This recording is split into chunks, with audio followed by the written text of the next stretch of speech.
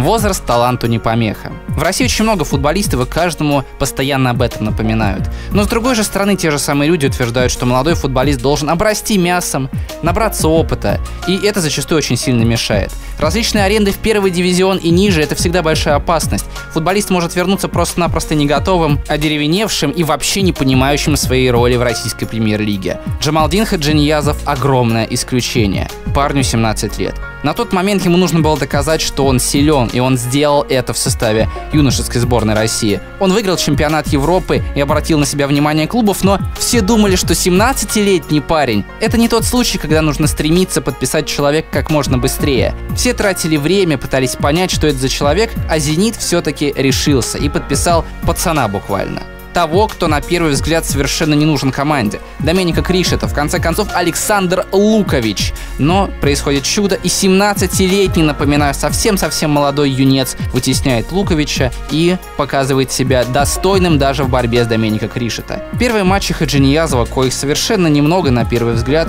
все-таки доказывают, что находятся в России футболисты, до сих пор умеющие играть крайнего защитника. Со времен Анюкова такого таланта-то и не было. Георгий Щенников, наверное, также хорош, но Хаджиньязов моложе. Хаджиньязов талантливее, и ему нужно всего лишь много игрового времени. У него практически нет недостатков уже сейчас. Он мощен, умеет помогать атаке, скоростной совершенно футболист, и самое главное, он универсален. Он может подстраховать практически любую позицию. Современный футбол просто-таки привязан к той системе, когда футболист отвечает только за свою позицию. И как только ситуация меняется, то игроки, они как роботы. Они не могут перестроиться, они не могут показать себя. В связи с этим этим как раз таки и есть смысл говорить о перспективах Джамалдина в «Зените». Лига чемпионов — это типичное подтверждение тому, что в Питере всегда бывают с этим проблемы. Ошибается один — нет подстраховки, а Джамалдин, будучи даже крайним защитником, постоянно оказывается там, где от него никто на первый взгляд этого не ожидает. И если кто-то посчитал всего лишь авансом выход Хаджиньязова на поле в чемпионате России,